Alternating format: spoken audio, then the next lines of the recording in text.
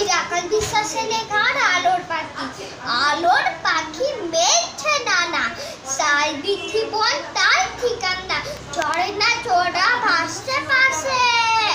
গান শোনাবি তার বিপাশে পাহাড় চু- চূড়ো ফুলের বনে। খেলছে খেলা সারাক্ষণে। আলোক লতায় মিষ্টি হাসি। রঙিন পালক মেখে জ্যোৎস্না থাকে নদীর বাঁকে।